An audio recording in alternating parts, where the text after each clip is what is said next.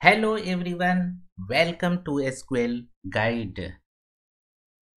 Today I am going to show you how to monitor SQL Server database log shipping. How to monitor SQL Server database log shipping.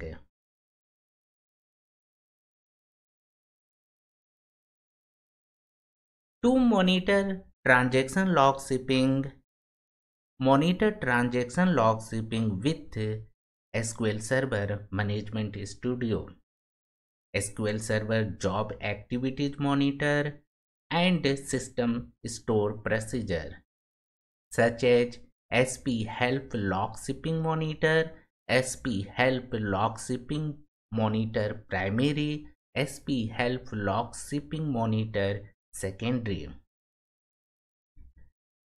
In this video, I am going to show how to monitor log shipping using SQL Server Management Studio and SQL Server Job Activities Monitor. Let's connect with SQL Server.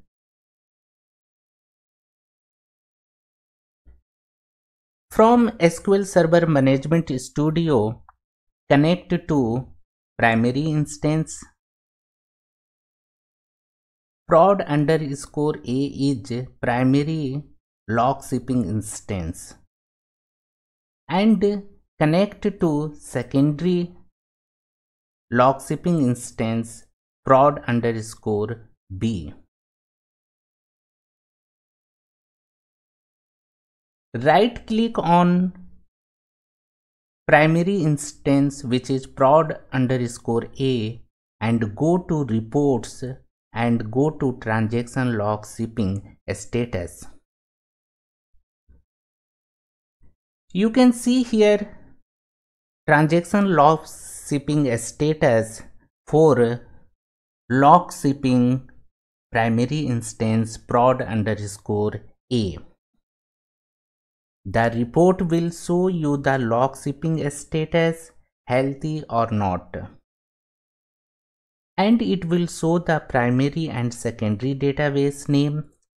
Here primary database name log shipping, secondary database name log shipping and also time since last backup and last time restore file etc.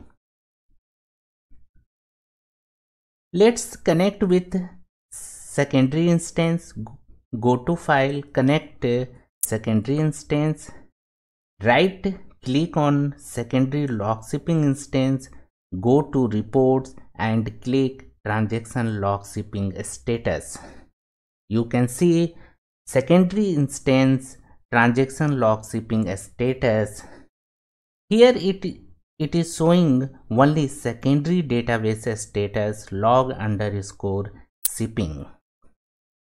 Time since last and other information you will get from here. Now second step to check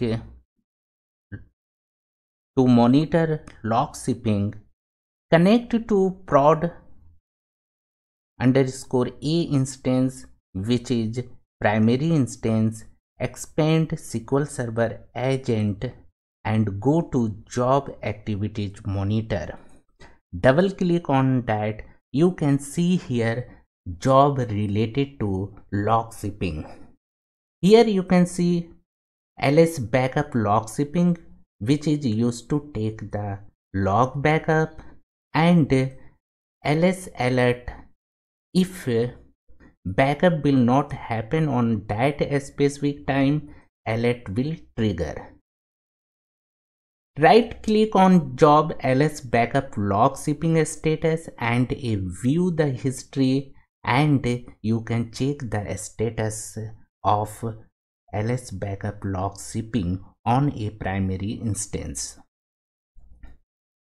You can check ls alert which is showing failed status go to view history and you can check why this job is failed.